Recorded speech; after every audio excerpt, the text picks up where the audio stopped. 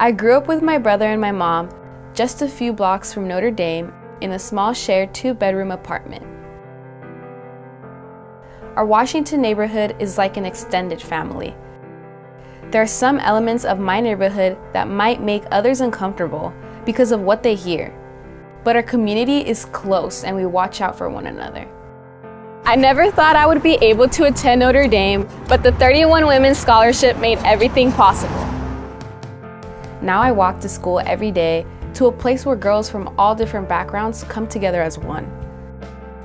At Notre Dame, we don't just talk about social justice. We apply what we learned in our downtown neighborhood and beyond.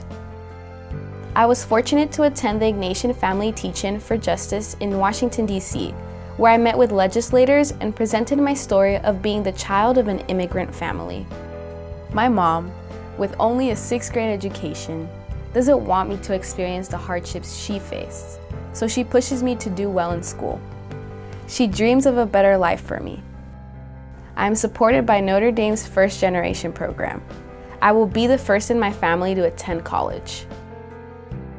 I am grateful for the many blessings in my life my mother, my teachers, my extended community, and the 30 women who made my education possible.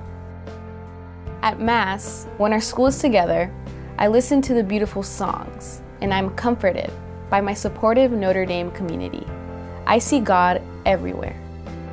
Now, I'm ready academically and spiritually to take my place in the world.